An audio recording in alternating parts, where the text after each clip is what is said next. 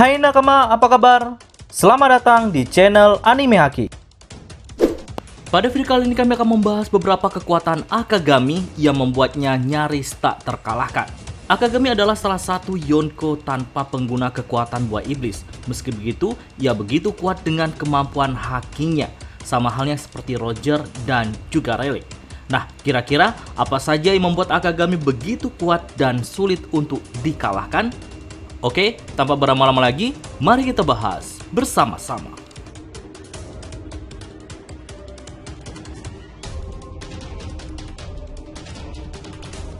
Kemampuan menakutkan yang dimiliki oleh Akagami pertama adalah menguasai Haki Raja yang sudah mencapai level tertinggi.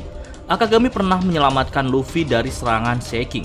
Dia mengalahkan monster laut raksasa tersebut hanya dengan menatapnya saja.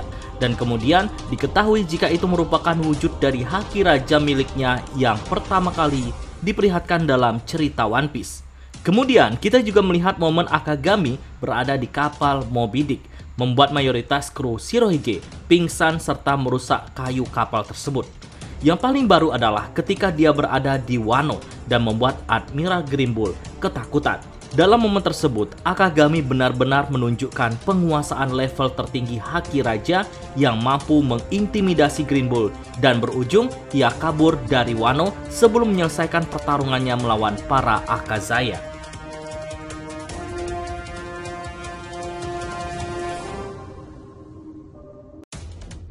Sejauh ini, kekuatan armamen haki dari Akagami memang sangat jarang diperlihatkan. Hal ini disebabkan oleh Oda Sensei sangat jarang memperlihatkan Akagami bertarung dalam ceritanya. Sejauh ini, hanya ada tiga momen ia bertarung yang diperlihatkan dalam cerita One Piece. Pertama adalah ketika ia bertarung melawan Shirohige di kapal Moby Dick. Yang kedua, ketika dia menahan serangan Akainu di puncak pertempuran Marineford demi melindungi Kobe. Dan yang ketiga, serta yang paling baru adalah ketika ia bertarung melawan Kid di Elbaf hanya dengan satu kali serangan saja membuat Kid kalah. Namun dari ketiga pertarungan tersebut diketahui saat menahan serangan Akainu, sosok Akagami menggunakan armamen haki. Karena itulah ia mampu menahan tubuh asli Akainu. Sayangnya, sejauh ini masih belum diperlihatkan seperti apa kedahsyatan level tertinggi dari armamen haki milik Akagami.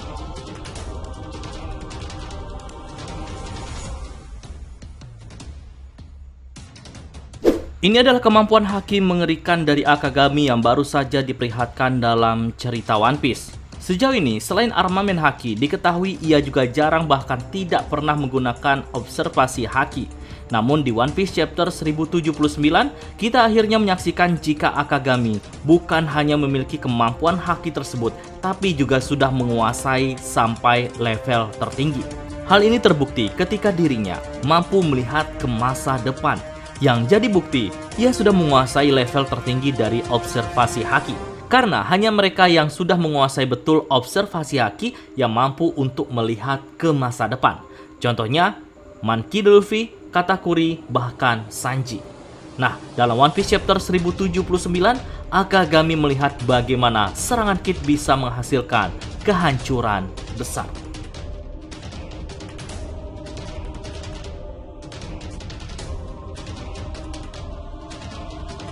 Selain terkenal menggunakan haki yang juga sangat populer dari sosok Akagami adalah kemampuan berpedang yang dia miliki.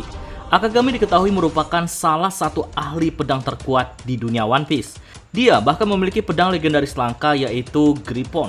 Bukti kedahsyatan kemampuan berpedang Akagami bisa dilihat dari reputasi dahsyat yang dia miliki. Reputasi tersebut adalah di mana dia merupakan rival abadi dari ahli pedang terkuat di dunia yaitu Dracula Mihawk. Artinya, level kemampuan berpedang dari Akagami tidak sembarangan. Bahkan, Shirohige sendiri mengakui kemampuan berpedang dari dirinya. Dan di One Piece chapter 1079 dibuktikan bagaimana Akagami mampu menggunakan teknik pedang dahsyat yaitu Kamusari untuk menghancurkan Kid dalam satu serangan saja.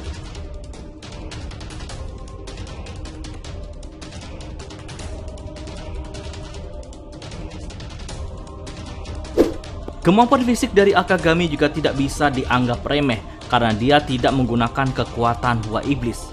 Akagami benar-benar memaksimalkan kekuatan fisik yang dia miliki. Contohnya, dia adalah seorang perenang handal. Dia berhasil berenang di laut dengan cepat untuk menyelamatkan bagi yang tenggelam dan bahkan menyelamatkan Luffy dari serangan monster laut. Kedahsyatan kemampuan fisiknya sendiri dibuktikan dengan meskipun dia hanya memiliki satu tangan, dia mampu menahan serangan Shirohige atau serangan kuat lainnya. Akagami juga memiliki kecepatan tinggi yang terbukti dia mampu menyelamatkan Kobe dari serangan Akainu di saat yang tepat. Dan di One Piece chapter 1079, dia bahkan diperlihatkan nampak mampu berpindah dengan cepat untuk menyerang Kid.